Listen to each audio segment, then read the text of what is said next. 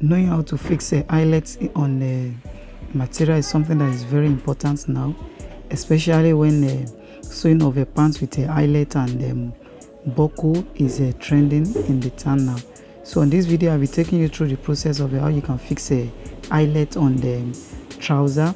So now this is the type different types of a uh, eyelet uh, plier that is available in the market.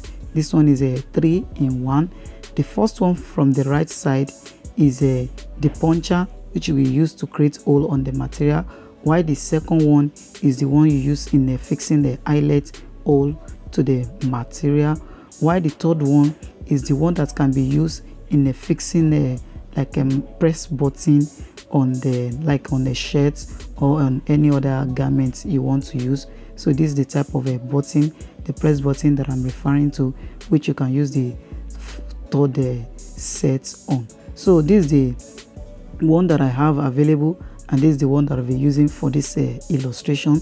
After you have a mark the place you want to create hole on like this you mark it like this. After you have marked it already like this then the next thing is to use the puncher.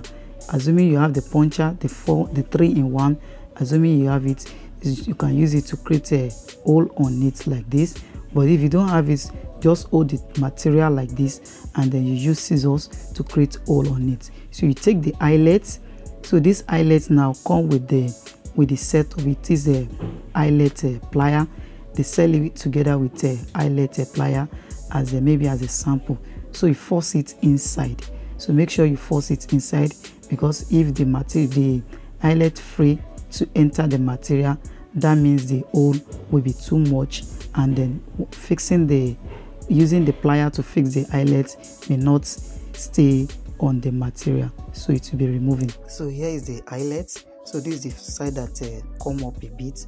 While this is the side where the hole is? So the side where the hole is will be the one you will place on the facing of the of the eyelet while the side that came up a bit will be the one uh, facing on the inside.